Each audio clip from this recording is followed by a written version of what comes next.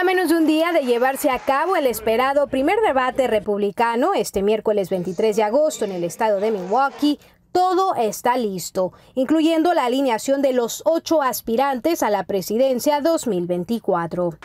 De acuerdo con el Comité Nacional Republicano, entre los candidatos que estarán en el estrado se encuentran el exgobernador de Nueva Jersey, Chris Christie, el gobernador de Florida, Ron DeSantis, la exgobernadora de Carolina del Sur, Nikki Haley, y el ex vicepresidente Mike Pence. Ahora bien, el gran favorito, Donald Trump, sí estará ausente, como él mismo lo confirmó por medio de su red social Truth el domingo por la noche.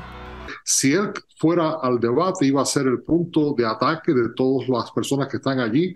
Al no estar allí, pues va a estar presente porque siempre Donald Trump estará, será el centro de lo que se hable en ese debate, pero empezarán a atacarse las personas que están allí los unos a los otros. Las últimas encuestas nacionales señalan que el exmandatario comienza con una ventaja de más de 20 puntos sobre su rival más cercano, Ron DeSantis.